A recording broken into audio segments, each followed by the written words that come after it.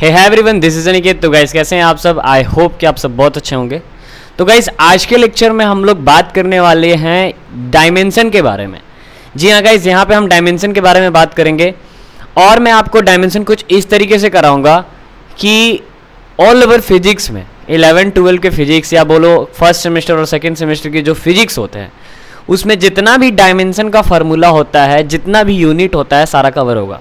क्योंकि मैंने इसको सेपरेट करके किया है। कुछ इस तरीके से।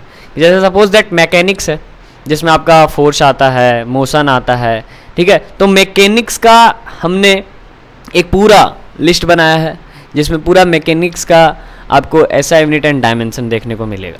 फिर उसके बाद उसी तरह से ग्रेविटेशन का किया है कि ग्रेविटेशन में टोटली कितने ऐसा यूनिट एंड कितने डायमेंशन हैं।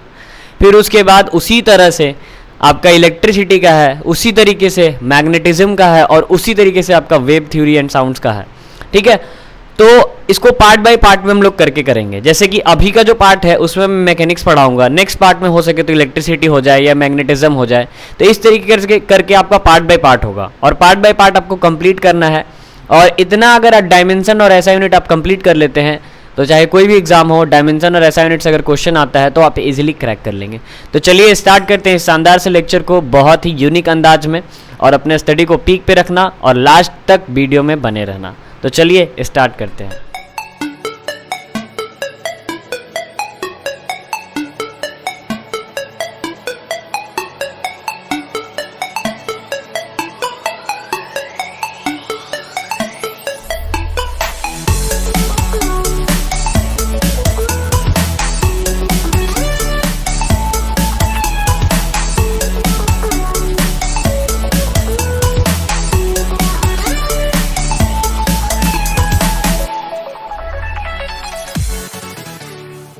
गाइस फ़र्स्ट ऑफ़ ऑल हम लोग बात करेंगे मैकेनिक्स की कुछ 10 बेसिक फार्मूले के बारे में और उसका हम लोग ऐसा यूनिट और डायमेंशन निकालने की कोशिश करेंगे। जैसे कि गाइज़ आपके सामने फ़र्स्ट ऑफ़ ऑल दिया हुआ है एरिया कि यार एरिया का डायमेंशन क्या होता है और एरिया का ऐसा यूनिट क्या होता है। तो पूरा बेसिक से लेके चलते हैं। आप सबको पता होगा कि एरिया अगर मान लो हम एरिया ऑफ़ स्क्वायर की बात करते हैं तो एरिया ऑफ़ स्क्वायर कुछ इस तरीके का आपका स्क्वायर बनता है।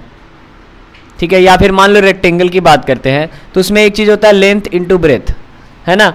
एरिया का फॉर्मूला क्या होता है? लेंथ इंटू ब्रेथ तो इसके हिसाब से गाइज़ अगर यहाँ पे एरिया का फॉर्मूला लेंथ इंटू ब्रेथ आता है, और आप सबको पता है लेंथ को हम किसमें नापते हैं? मीटर में. ब्रेथ को भी हम किसमें नापते हैं? मीटर में. क्योंकि लेंथ भी एक तरह का लंबाई है और ब्रेथ भी एक तरह का लंबाई है है ना? डिस्टेंस का ही चीज़ है तो दोनों को मीटर में नापते हैं. तो लेंथ इंटू ब्रेथ का क्या हो गया? मीटर इंटू मीटर तो इसका ऐसा यूनिट क्या हो गया? मीटर स्क्वायर ठीक है?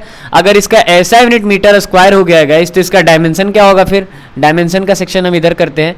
ये आपका डायमेंशन होगा यहाँ पे। तो इसका डायमेंशन क्या होगा? हम सबको पता है डायमेंशन किसको बोलते हैं। जैसे कि समझो एक एक बेसिक सा बात बताते हैं। जैसे मान लो कोई चीज़ के में है, ठीक है? और कोई चीज़ मीटर में है, और कोई चीज़ सेकेंड में है तो उस के को एम के थ्रू दिखाया जाता है। के मतलब मास तो एम के थ्रू उसको दिखा दिए कैपिटल एम के थ्रू मास हो गया। मीटर का मतलब क्या? लेंथ तो उसको एल के थ्रू दिखा दिए। और सेकेंड मतलब टाइम तो उसको हम टी के थ्रू दिखा दिए। तो डायमेंशन किसी भी चीज़ का डायमेंशन हम लोग एम के टर्म में दिखाते हैं। मास लेंथ और टाइम के टर्म में दिखाते हैं। क्लियर है? तो यहाँ पे गाइस केवल क्या है? यहाँ पे केवल मीटर है। तो क्या मास लेंथ नहीं होगा? तो मास लेंथ होगा। लेकिन देखो यहाँ पे इस, इस तरीके से होगा। मास पे ज़ीरो एल पे कितना है? मतलब मीटर कितना है? मीटर पे पावर टू है ना? तो लिखा मतलब ऐसे लिखा जाएगा। क्योंकि मीटर मतलब लेंथ और लेंथ पे पावर कितना है? टू है। तो एल टू और टी पे पावर क्या हो जाएगा यहाँ पे? ज़ीरो इस तरीके से आपका क्या हुआ? डायमेंशन बना। और वो ब्रैकेट देना बहुत ज़रूरी है और तीनों चीज़ लिखना बहुत ज़रूरी है। ठीक है? इतना क्लियर है? अब इसके बाद गाइज़ नेक्स्ट हम लोग देखते हैं कि नेक्स्ट कौन सा है? नेक्स्ट है अपना वॉल्यूम अब आपसे मैं पूछूँगा कि वॉल्यूम क्या होता है? तो आप लोग बोलोगे, sir length into breadth into height आपने नाइन्थ क्लास में पढ़ा होगा या टेंथ क्लास में पढ़ा होगा। नहीं भी जानते होगे तो याद कर लो वॉल्यूम होता है length into breadth into height तो देखो यहाँ पे क्या होगा length into breadth into height अब आपको सोचना है कि लेंथ किसमें नापा जाता है। तो लेंथ भी नापा जाता है मीटर में ब्रेथ भी नापा जाता है मीटर में, और हाइट भी नापा जाता है मीटर में।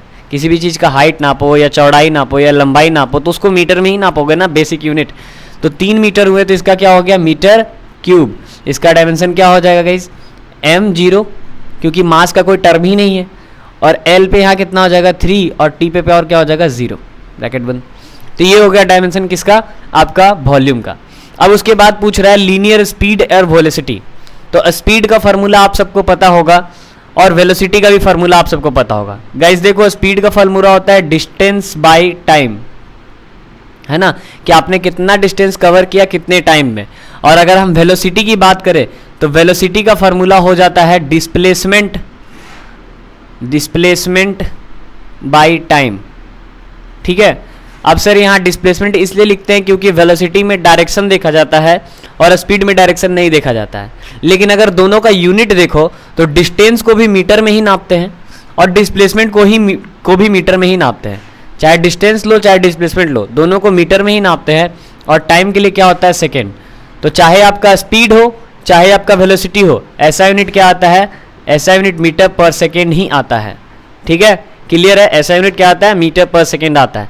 अब यहाँ पे ध्यान देना, अगर हम इसका डायमेंशन लिखने जाते हैं तो m मतलब मास वाला चीज़ कोई है क्या? के जी है? नहीं है। तो m पे क्या हो जाएगा? ज़ीरो लेकिन l मतलब मीटर है तो l कुछ पावर नहीं है तो सिंपल वैसे ही छोड़ देना l को।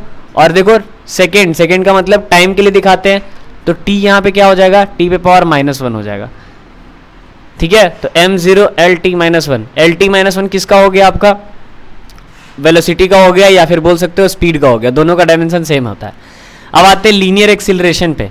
एक्सिलेशन आप सबको पता है गाइज़ एक्सिलेशन का क्या होता है? वेलोसिटी बाय टाइम है ना? आपने पढ़ा होगा acceleration rate of change of velocity with respect to time is called acceleration आपने पढ़ा है ना? कि जब वेलोसिटी का चेंज होता है टाइम के रिस्पेक्ट में तो उसको हम लोग क्या बोलते हैं? एक्सिलरेशन बोलते हैं। जैसे आपने देखा भी होगा कि कुछ लड़के होते हैं, अगर लड़कियाँ जा रही होती है तो बाइक बहुत ज़्यादा स्पीड पे लेके जाते हैं। तो उनका बाइक देखना आप लोग कुछ सर्टेन डिस्टेंस पे बहुत ज़्यादा स्पीड हो जाता है। मतलब थोड़े से दूरी में ज़्यादा स्पीड कर दिया। मतलब वो क्या किया? अपनी गाड़ी को एक्सेलरेट कर दिया। एक्सेलरेटर का नाम भी दिया जाता है ऐसे ऐसे करते हैं ना तो गाड़ी का एक्सेलरेटर उसका नाम इसलिए दिया जाता है क्योंकि अगर आप उसको ऐसे करते हैं तो गाड़ी आपका उसका rate of change of velocity जो है मतलब जिस स्पीड से वो चल रहा है, वो पर सेकेंड बदलने लगता है। ठीक है? तो rate of change of velocity with respect to time is called acceleration ठीक है? कि हर सेकेंड में कितना चेंज हो रहा है। और वही चीज़ अगर एकदम कांस्टेंट चेंज हो तो उसको बोलते हैं कांस्टेंट एक्सेलरेशन ठीक है? तो वेलोसिटी बाय टाइम अब आप सबको पता है वेलोसिटी का यूनिट अभी हमने जस्ट निकाला था क्या?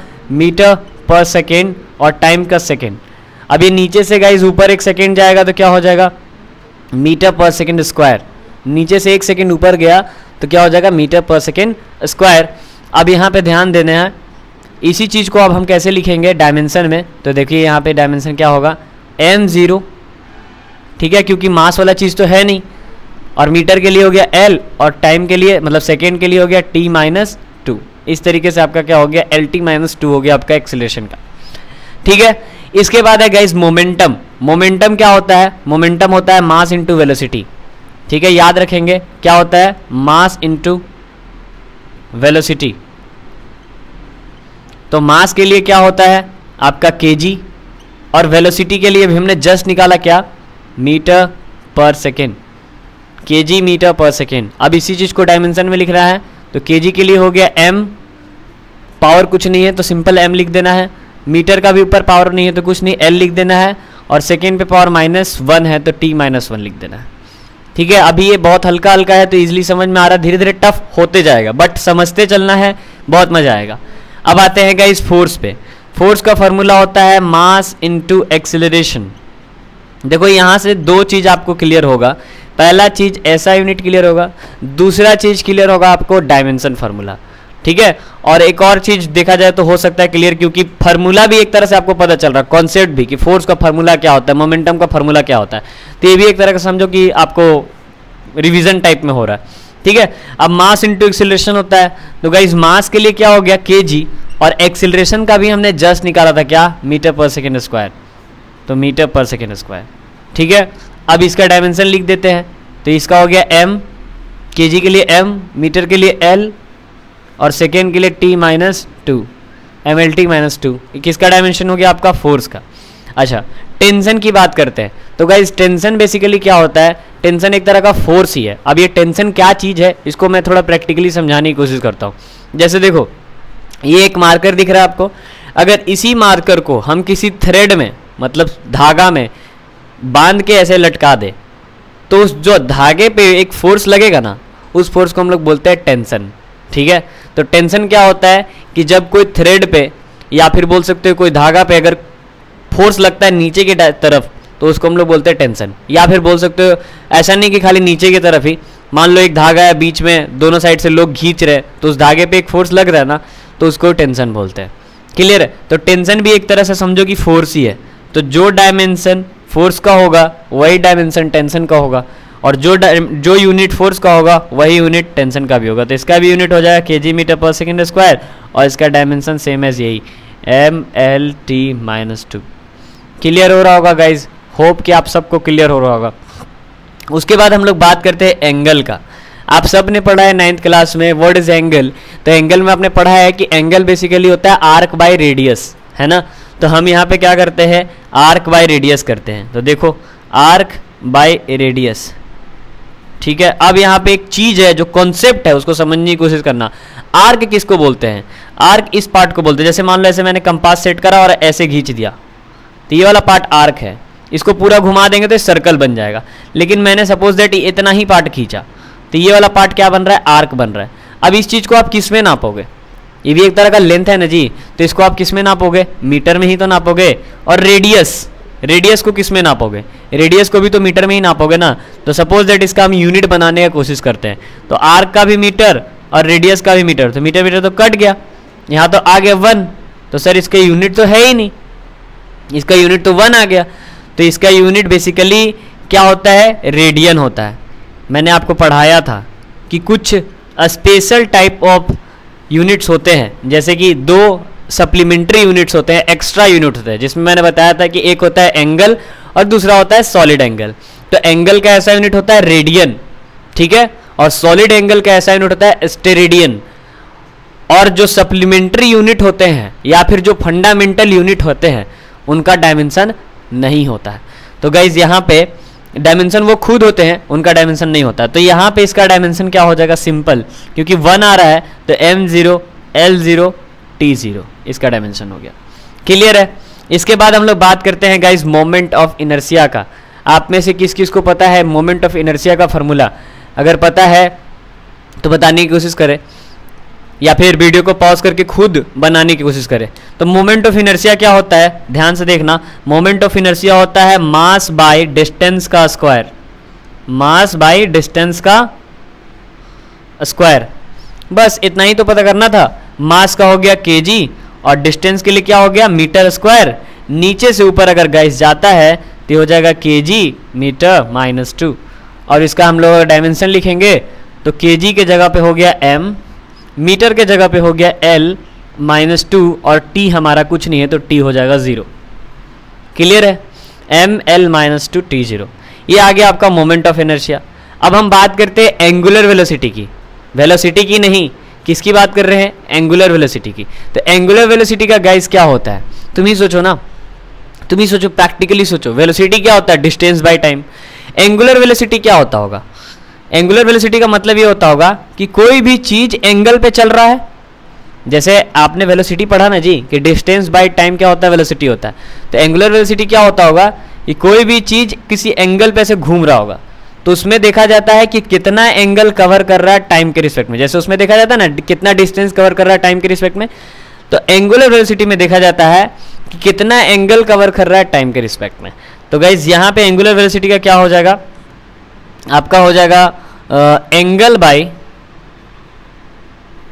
टाइम ठीक है? और आप सबको पता है कि एंगल जो है, उसको हम किसमें नापते हैं? एंगल को हम नापते हैं रेडियन में। और यहाँ टाइम के लिए होता है सेकेंड तो यहाँ क्या हो जाएगा? रेडियन पर सेकेंड ठीक है? और रेडियन पर सेकेंड है तो इसका डायमेंशन बेसिकली देखा जाए तो इसका डायमेंशन क्या हो सकता है? आप सोचो, सर रेडियन का तो डायमेंशन होता नहीं है, ठीक है? सेकेंड है इन्वर्स तो इसका डायमेंशन क्या हो जाएगा? ये वाला चीज़।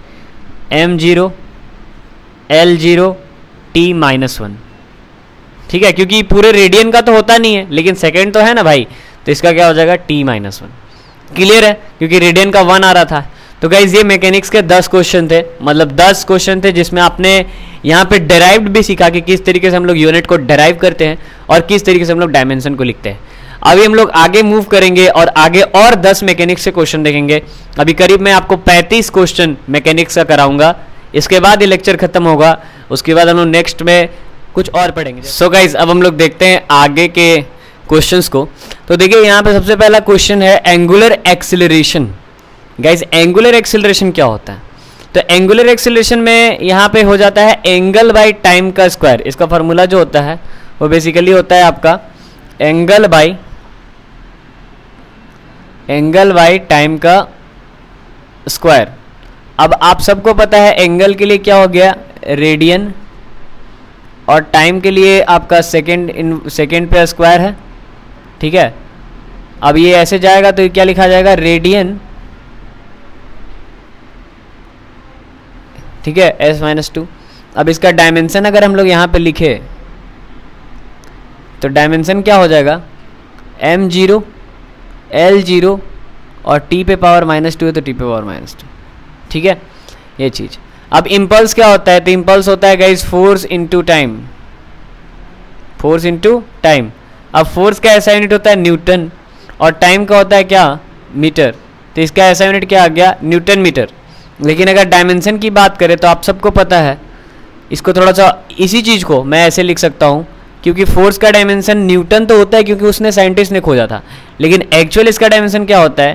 K G metre per second square और उसमें हम अगर मीटर मल्टीप्लाई करते हैं गाइज़ तो ये मीटर और ये मीटर मिलके क्या हो जाएगा? मीटर स्क्वायर बन जाएगा। तो इसका ओवरऑल क्या आ जाएगा? K G metre square S minus two ठीक है? अब इसका डायमेंशन लिखते हैं। तो के के लिए क्या हो गया एम मीटर स्क्वायर के लिए एल पे पावर टू और एस माइनस टू के लिए हो गया टी पे पावर माइनस टू यह डायमेंशन हो गया आपका किसका? इम्पल्स का. देन हम लोग बात करते हैं प्रेशर के लिए. तो प्रेशर क्या होता है? प्रेशर होता है गाइस फोर्स बाय एरिया ठीक है? फोर्स के लिए हो गया न्यूटन और एरिया के लिए हो गया मीटर स्क्वायर. तो एक्चुअली में इसका ऐसा यूनिट होता है न्यूटन मीटर माइनस टू लेकिन आप सबको पता है कि न्यूटन को newton metre minus two actually में इसका ये ऐसा यूनिट हुआ. लेकिन इसी चीज़ को हम ऐसे भी लिख सकते हैं। न्यूटन के जगह पे हम लिख देंगे K G metre per second square और नीचे से मीटर स्क्वायर। तो अगर ये गाइज़ ऊपर जाता है तो यहाँ पे क्या बनना चाहिए? एक चीज़ सोचो।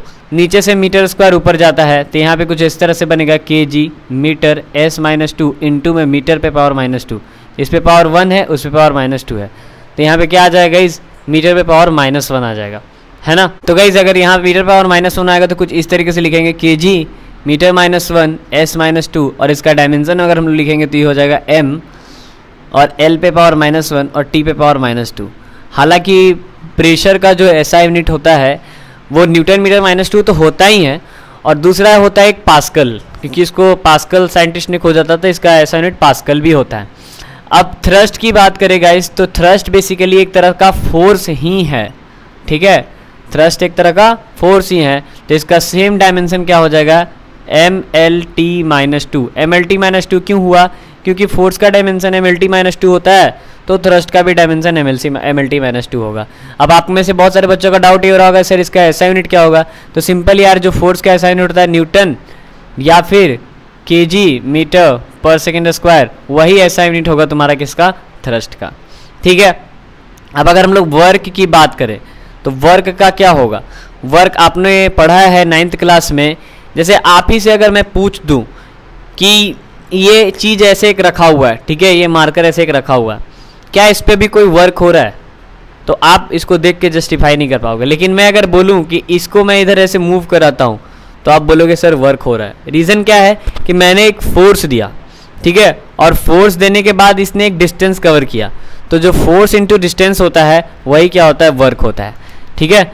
तो यहाँ पे क्या हो जाएगा? फोर्स इंटू डिस्टेंस को हम लोग वर्क बोलते हैं। अब फोर्स का ऐसा यूनिट होता है न्यूटन और डिस्टेंस का क्या होता है मीटर। तो न्यूटन मीटर वर्क का ऐसा यूनिट हो जाएगा। अब अगर थोड़ा सा देखें तो इसको अगर हम लोग करेंगे और तो के मीटर पर सेकेंड स्क्वायर और उसमें मल्टीप्लाई कर देंगे मीटर तो डायरेक्ट ये क्या हो जाएगा? K metre square S minus two तो हम इसको डायरेक्ट यहाँ पे लिखते हैं। इसको मैं डायरेक्ट लिख दूँ क्या यहाँ पे? इसी चीज़ को मैं ऐसे डायरेक्ट लिख देता हूँ।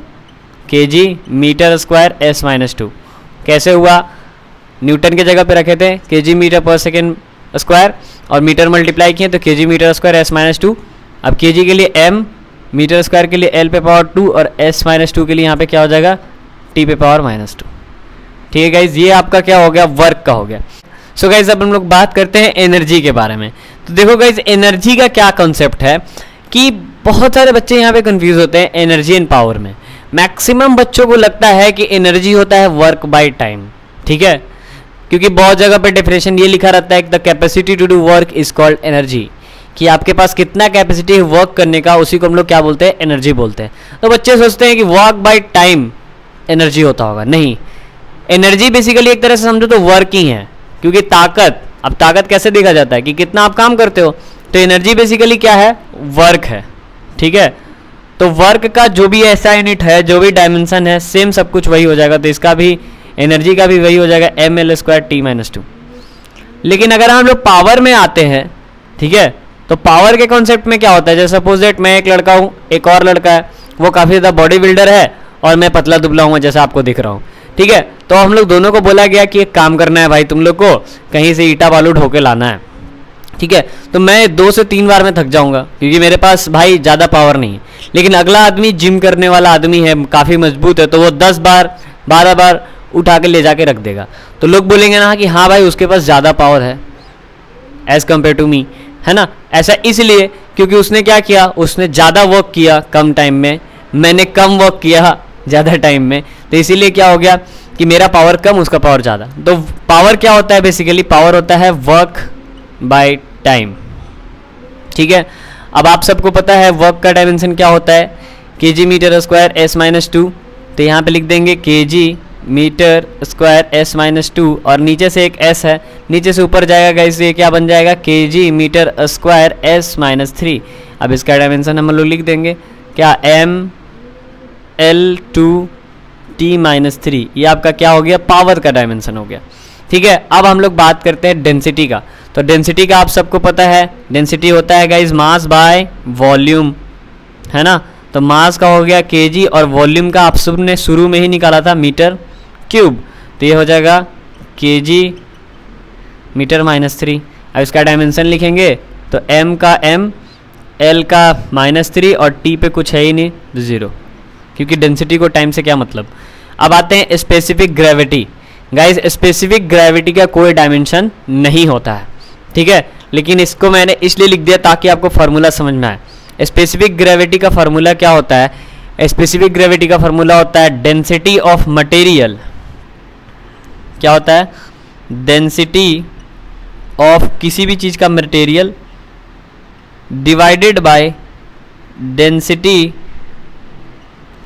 of water कितने डिग्री सेल्सियस पे? फोर डिग्री सेल्सियस पे. Density of material by density of water four degree Celsius पे. और इनका कोई यूनिट नहीं होता है। नो यूनिट सॉरी इनका कोई डायमेंशन नहीं होता यूनिट होता है। इनका क्या हो जाएगा? नो डायमेंशन जब ग्रेविटेशन का बात करेंगे तो वहाँ पे इस चीज़ को डिटेल करेंगे। जब ग्रेविटेशन चैप्टर पढ़ाएँगे तो वहाँ पे इस चीज़ को और अच्छे से डिटेल करेंगे। अब आते हैं स्पेसिफिक वॉल्यूम पे। तो स्पेसिफिक वॉल्यूम जस्ट उल्टा कर दो। वॉल्यूम बाय मास कर दो। ठीक है? वॉल्यूम बाय मास कर दो। तो वॉल्यूम क्या क्या हो गया? मीटर, क्यूब और मास का हो गया? केजी। तो क्या हो जाएगा इसका ऐसा यूनिट मीटर, क्यूब के जी माइनस वन। है ना? अब इसका डायमेंशन लिख दो। तो अब आप में से बहुत सारे बच्चे सोच रहे होंगे कि सर केजी बाद में आया तो केजी को बाद में लिखेंगे क्या? नहीं एम हमेशा पहले लिखाता है। तो यहाँ हो जाएगा एम माइनस वन और मीटर के लिए हो जाएगा एल क्यूब और यहाँ पे टी हो गया आपका ज़ीरो ठीक है? ये हो गया स्पेसिफिक वॉल्यूम टॉर्क क्या होता है? तो टॉर्क का मतलब होता है गाइस कि मान लो फोर्स इनटू परपेंडिकुलर डिस्टेंस आप फोर्स लगा रहे हैं किसी परपेंडिकुलर डिस्टेंस को कवर करने के लिए तो उसी को बोलते हैं हम लोग टॉर्क तो यहाँ पे हो जाएगा फोर्स इनटू परपेंडिकुलर डिस्टेंस अब परपेंडिकुलर डिस्टेंस है, चाहे डिस्टेंस है, उसको तो मीटर में ही नापेंगे ना। तो फोर्स का क्या हो गया? यहाँ पे ध्यान देंगे फोर्स का हो गया K G metre per second square और इनटू डिस्टेंस तो मीटर तो यहाँ पे डायरेक्ट हो जाएगा क्या? K G metre square S minus two इसका डायमेंशन लिख देते हैं के जी के लिए हो गया एम मीटर स्क्वायर के लिए L minus two L two और सेकेंड माइनस टू के लिए यहाँ पे टी पे पावर माइनस टू ठीक है, आराम आराम से देखना वीडियो को, आराम से समझ में आएगा। फ्रीक्वेंसी क्या होता है गाइस तो फ्रीक्वेंसी होता है वाइब्रेशन बाय टाइम ठीक है? फ्रीक्वेंसी क्या होता है? वाइब्रेशन बाय टाइम और वाइब्रेशन का कोई ऐसा यूनिट नहीं होता, उसको वन मान के चलते हैं और टाइम का टी तो इसका ऐसा यूनिट क्या हो गया? सॉरी टाइम का सेकेंड तो इसका ऐसा यूनिट हो गया सेकेंड इनवर्स अब सेकेंड इनवर्स जैसे आपने सबको पता है कि फ्रीक्वेंसी का सेकेंड इनवर्स ही होता है तो इसका डायमेंशन क्या हो जाएगा? डायमेंशन इसका हो जाएगा M zero L zero T पे पावर माइनस वन ठीक है? ये फ्रीक्वेंसी का डायमेंशन हो गया. अब बात करते हैं एंगुलर फ्रीक्वेंसी का. तो एंगुलर फ्रीक्वेंसी में कुछ नहीं होता है two pi multiply of frequency two pi multiply of frequency तो टू पाई का तो कोई यूनिट होगा नहीं, ठीक है? क्योंकि वो एक कांस्टेंट चीज़ है। जैसे एक, दो, तीन, चार हम लोग नंबरिंग करते हैं ना तो टू पाई भी एक वैल्यू है। थ्री पॉइंट वन फोर कोई एक वैल्यू आएगा। तो वो वैल्यू का ऐसा यूनिट नहीं होता, या फिर उसका डायमेंशन भी नहीं होता। तो जो भी डायमेंशन होगा, किसका होगा? फ्रीक्वेंसी का। तो इसका ऐसा यूनिट भी वही होगा सेकेंड इनवर्स और इसका डायमेंशन भी वही होगा। M zero L zero T minus one ठीक है? तो होप गाइज़ कि आपको ये तेईस फार्मूला क्लियर हो गया होगा और समझ में आ गया होगा। अभी आगे हम लोग और देखेंगे और कंप्लीट करेंगे पूरे मैकेनिक्स को। तो जल्दी से ले लीजिए इसका स्क्रीनशॉट फिर हम लोग आगे मूव करते हैं। सो so गाइज़ अभी हम लोग मूव करते हैं आगे और देखते हैं बाकी के बचे हुए क्वेश्चंस को।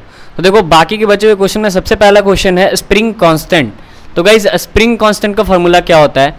स्प्रिंग कॉन्सेंट का फॉर्मूला होता है बेसिकली फोर्स बाय लेंथ और फोर्स बाय लेंथ अगर है तो फोर्स का हो गया न्यूटन और लेंथ का हो गया metre means newton sorry newton metre inverse यही होता है लेकिन अगर इसको डायमेंशन में देखा जाए तो के मीटर पर सेकेंड स्क्वायर हो गया न्यूटन के लिए और मीटर इनवर्स के लिए मीटर इनवर्स तो अब यहाँ से देखो गाइज़ यहाँ पे मीटर पे पावर वन और यहाँ पे मीटर पे पावर माइनस वन है दोनों मिलेगा जब तो क्या हो जाएगा? मीटर पे पावर ज़ीरो हो जाएगा। तो केवल यहाँ से क्या निकल के आएगा? के जी एस माइनस टू ठीक है? अब इसका डायमेंशन अगर हम लोग इधर लिखते हैं तो इसका डायमेंशन क्या हो जाएगा? के जी है तो एम और यहाँ पे एल हो जाएगा ज़ीरो, और टी पे power minus two M L zero T power minus two इसी तरह से अब हम लोग बात करते हैं इस ग्रेविटेशनल कांस्टेंट के बारे में। तो ये आपने नाइन्थ क्लास में पढ़ा होगा ग्रेविटेशन लॉ है ना? यूनिवर्सल लॉ ऑफ़ ग्रेविटेशन जिसमें आपको पढ़ाया जाता है कि जो भैया फोर्स है वो डायरेक्टली प्रोपोर्शन होता है G M one M two by R square के। तो अब कुछ करना नहीं है तुम्हें जी को इधर ही रहने दो, क्योंकि मेरे को ग्रेविटेशनल कांस्टेंट का चाहिए आंसर तो जी को इधर ही रहने दो, बाकी सबको उधर फेंक दो, ठीक है? तो जी को इधर ही रहने दिए, बाकी सबको उधर फेंके। तो जी मेरा ऐसे है, इसको उधर फेंकेंगे तो हो जाएगा एफ़ आर स्क्वायर इधर वाला पार्ट नीचे आ जाएगा डिवाइड में M one by M two ठीक है, इतना क्लियर है? अब यहाँ पे ध्यान देंगे, जो चीज़ है, इधर, g इज़ इक्वल टू क्या है हमारे पास? F R square by M one into M two अब गाइज़ हम f के लिए लिख देते हैं फोर्स के लिए क्या आता है? K G metre per second square ठीक है, यही आता है ना? और r के लिए क्या हो गया? R मतलब मीटर है ना? क्योंकि लेंथ है। तो यहाँ हो जाएगा मीटर स्क्वायर और M one M two M one M two यहाँ पर मास होता है तो इसके लिए हो जाएगा के जी अब के जी इंटू के जी क्या हो जाएगा? के जी स्क्वायर ठीक है गाइज़ अब यहाँ से अगर हम लोग इसको सॉल्व करें तो ध्यान देना, ये नीचे से के जी ऊपर जाएगा तो पहले तो एक के जी था, ये मीटर मीटर क्या हो गया? मीटर क्यूब बन जाएगा, क्योंकि एक वन है इसके ऊपर और यहाँ पे टू है। मीटर क्यूब बन गया एस पे पावर माइनस वन और यहाँ से के जी जो गया है ये के जी अभी क्या बन गया है? के जी पे पावर माइनस टू और यहाँ पे गाइज़ वन है। तो वन माइनस टू क्या हो जाएगा? माइनस वन आएगा, है ना? तो यहाँ पे K G power directly minus one आ जाएगा। ठीक है? तो ये चीज़ को आपको ध्यान में रखना है। अब इसका डायमेंशन लिखाएगा। तो डायमेंशन किस तरीके से लिखाएगा? मीटर एम पे power minus one L cube और टी माइनस वन ठीक है? इस तरीके से क्या हुआ इसका डायमेंशन अब अगर इसका यूनिट पूछा जाएगा किसी से तो कोई भी बच्चा इसका यूनिट आराम से लिख सकता है। देखो फोर्स के लिए क्या हो जाएगा इसका unit newton metre square force के लिए न्यूटन यहाँ मीटर स्क्वायर और यहाँ के जी तो इसको डायरेक्टली लिखा जाए तो ऐसे लिखा लिखाएगा न्यूटन मीटर स्क्वायर के जी माइनस टू ठीक है? तो यहाँ पे जगह नहीं हम यहाँ लिख देते हैं। इसका ऐसा यूनिट क्या हो जाएगा? न्यूटन मीटर स्क्वायर के जी माइनस टू याद रखोगे इसको। आता है। इसका यूनिट और इसका डायमेंशन आता है, बहुत इंपॉर्टेंट है। तो देख लेना ध्यान से। इसके बाद हम लोग बात करते हैं सरफेस टेंशन के बारे में। तो गाइस सरफेस टेंशन भी सेम एज स्प्रिंग कांस्टेंट होता है। सरफेस टेंशन भी सेम एज स्प्रिंग कांस्टेंट होता है। तो गाइस ज़्यादा दिमाग लगाते नहीं है। डायरेक्ट देखते हैं कि जो स्प्रिंग कांस्टेंट का था, वही सरफेस टेंशन का हो जाएगा। तो स्प्रिंग कांस्टेंट का क्या था? M L zero T minus two ठीक है? सरफेस टेंशन का भी वही फॉर्मूला होता है फोर्स बाय लेंथ ठीक है? अब हम लोग बात करते हैं सरफेस एनर्जी के बारे में। तो सरफेस एनर्जी क्या होता है? एनर्जी बाय एरिया ठीक है? यहाँ क्या होता है? इसका यूनिट एनर्जी बाय एरिया अब सपोज़ दैट कोई बच्चा भूल गया कि यार एनर्जी का आ, क्या था ऐसा यूनिट तो एनर्जी का तो बेसिकली यही होता है ना जूल और एरिया का क्या हो गया आपका यहाँ पे? मीटर स्क्वायर तो यहाँ पे इसका ऐसा यूनिट हो जाएगा जूल मीटर माइनस टू ऐसा यूनिट तो बहुत ईजिली लिख लिए. लेकिन जब डायमेंशन की बात आएगी तो एनर्जी का आपको रिकॉल करना होगा कि एनर्जी का क्या होता है। तो एनर्जी का हम सबको पता है एनर्जी बेसिकली एक तरह का क्या है? वर्क है। तो वर्क का ऐसा यूनिट हमने क्या देखा था? फोर्स इंटू डिस्प्लेसमेंट या फिर फोर्स इंटू डिस्टेंस देखा था ना? तो फोर्स के लिए क्या लिखेंगे हम लोग? के जी मीटर फिर से मैं एक बार अच्छे से कर देता हूँ। फिर इसको मैं इरेज कर दूँगा। एनर्जी जो होता है, वो वर्क के इक्वल होता है। और वर्क का हमने डायमेंशन देखा है फोर्स इनटू डिस्प्लेसमेंट फोर्स का होता है के जी मीटर पर सेकेंड स्क्वायर और डिस्प्लेसमेंट के लिए मीटर तो क्या हो जाएगा? K G metre square S पे पावर माइनस टू ये आ गया आपका वर्क का. ठीक है? मतलब ये आ गया आपका एनर्जी का. अभी हमने एनर्जी निकाला. हमको एनर्जी बाय एरिया करना है. तो इसको हम एरिया से अगर डिवाइड करेंगे गाइस तो यहाँ पे एरिया से डिवाइड करना मतलब मीटर स्क्वायर से डिवाइड करना। Metre square metre square cut गया। तो क्या आया? के जी एस माइनस टू तो इसका जो डायमेंशन लगभग लगभग आएगा, क्या आएगा? के जी एस माइनस टू तो इसका डायमेंशन लिखेंगे एम एल पे पावर ज़ीरो यहाँ पे टी माइनस टू ठीक है? तो एकदम सेम आ रहा है। है ना? देख रहे हो? सरफेस टेंशन का भी सेम आया और आपका स्प्रिंग कांस्टेंट का भी सेम आया और सरफेस एनर्जी का भी सेम आया। अभी इसके बाद हम लोग देखते हैं वेलोसिटी ग्रेडियंट को।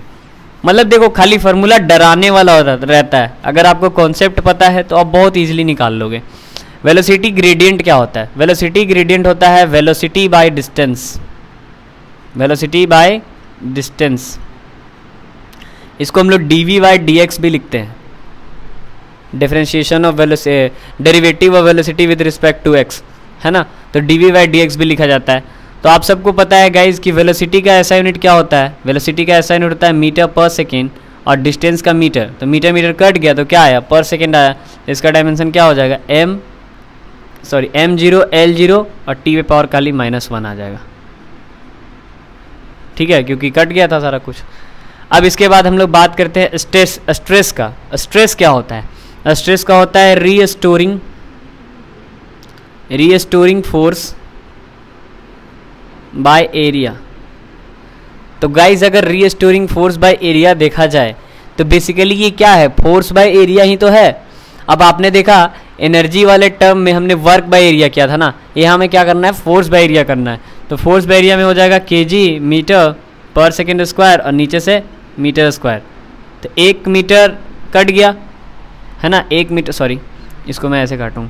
एक मीटर ऐसे कट गया तो बचा नीचे खाली एक मीटर तो ये हो जाएगा K G metre inverse S minus two, इसका डायमेंशन कुछ इस तरीके से होगा M, L minus one, T minus two. ठीक है? ये आपका आ गया स्ट्रेस का। अभी हम लोग बात करते हैं स्ट्रेन का। तो स्ट्रेन का गाइस कोई डायमेंशन नहीं होता है। क्यों? क्योंकि इसका फॉर्मूला होता है चेंज इन डायमेंशन या चेंज इन लेंथ बोल दो चेंज इन एरिया बोल दो, क्योंकि स्ट्रेन का मतलब ही होता है फैलना कि कितना फैला है। तो change in dimension by original dimension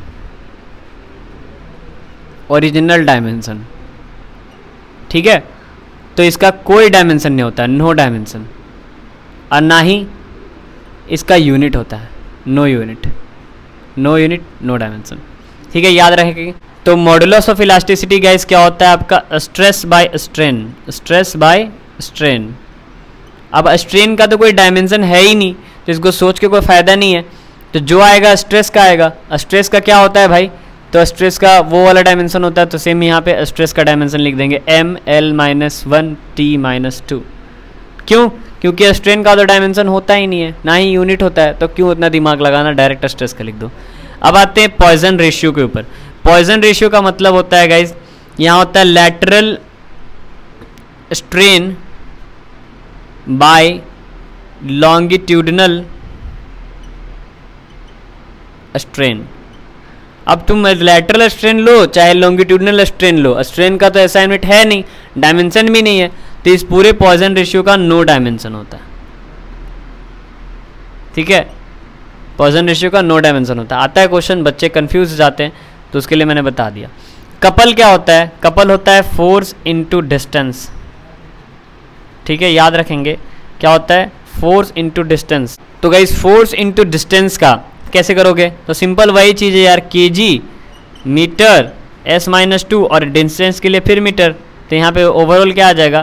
K G metre square S minus two लिख देना है। M L square T minus two ये हो गया आपका किसका? कपल का। अब आते हैं एंगुलर इम्पल्स पे। तो एंगुलर इम्पल्स क्या होता है? वो होता है आपका कपल इनटू टाइम क्या होता है? कपल इंटू टाइम तो जो कपल का फार्मूला आपके सामने आया था ना, क्या आया था? K G metre square S minus two इसको टाइम से मल्टीप्लाई कर दो। मतलब एस से मल्टीप्लाई कर दो। तो एस पे पावर वन है, यहाँ पे पावर माइनस टू है। तो ओवरऑल इस पर क्या निकलेगा?